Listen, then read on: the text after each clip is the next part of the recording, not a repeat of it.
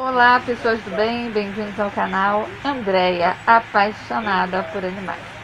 Hoje nós vamos conversar sobre aquelas pessoas, né, que vivem para se meter na vida dos outros, dar palpite, dar opinião, fazer as críticas que eles chamam de críticas construtivas, mas de construtivas não tem nada.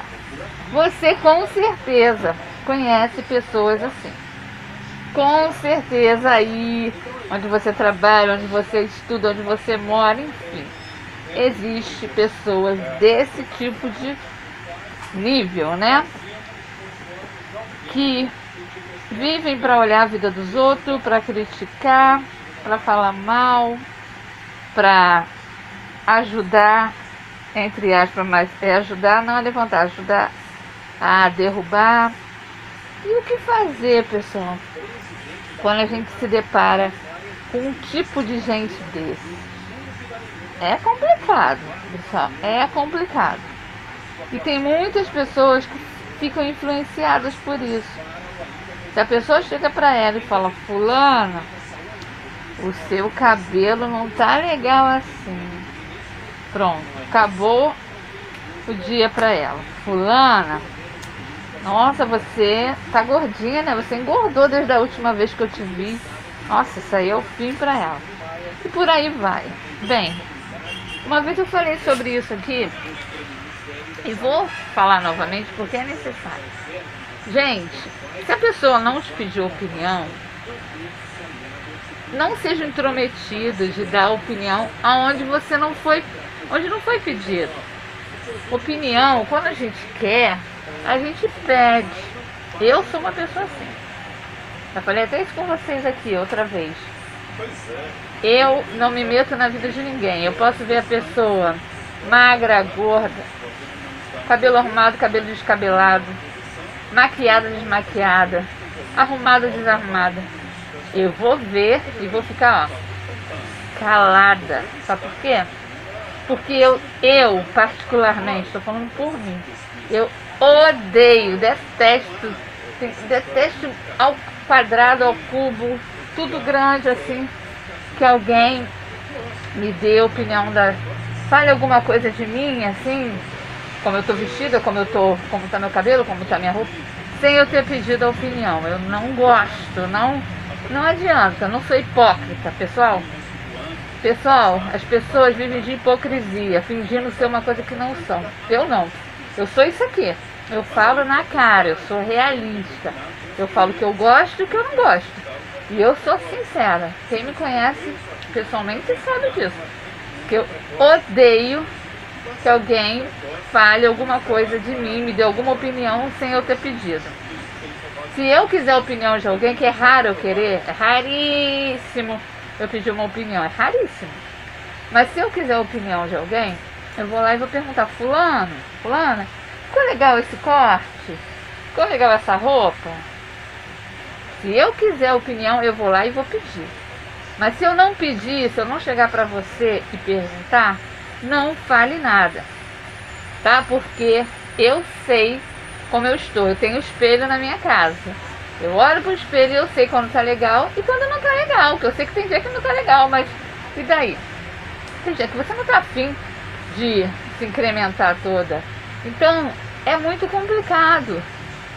Só que, como eu já falei pra você, eu detesto que me dê opinião de coisa que eu não pedi. Eu fico assim, torcendo pra pessoa não falar nada, porque eu não gosto. Mas tem pessoa que leva isso mais a sério ainda. Tem pessoa que acaba com a vida dela, acaba com o dia dela se você der uma opinião de uma coisa que ela não pediu ou que ela não gostou. E todo mundo só quer receber elogio, vamos falar a verdade. Vamos ser sinceros, a gente quer receber elogio, né? Fala, nossa, fulano, seu cabelo tá bonito, sua roupa tá legal, nossa, que maquiagem linda. Que sapato maravilhoso! Ai, que unha linda! Todos nós queremos ouvir elogios. Aí, todo mundo gosta, né? Mas ouvir críticas é, é mais difícil. Ai, falar assim, ah, eu amo ouvir crítica. Ai, que mentira. Ai, que mentira, gente. Gente, por que, que as pessoas são tão hipócritas? Por que as pessoas fingem tanto ser uma coisa que elas não são?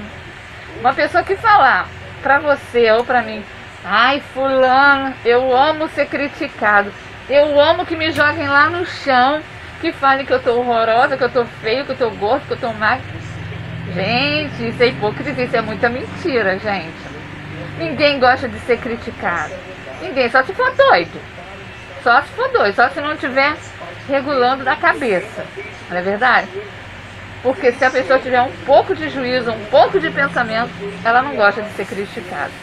Então, da mesma forma que você não gosta de ser criticado, criticada, não critique as pessoas. Guarde a sua opinião para você. Se você está vendo que a pessoa não está elegante, não está bonita, não está arrumada, problema é da pessoa. Você não tem nada a ver com a vida daquela pessoa. Cuide da sua vida. Olhe para o seu espelho. Cuide da sua casa, da sua família, do seu cabelo, da sua roupa, do seu trabalho. Enfim, cuide da sua vida. Pessoas ocupadas não perdem tempo, não tem tempo para ficar tomando conta da vida das outras pessoas. Essas pessoas que ficam tomando conta da vida dos outros são pessoas desocupadas.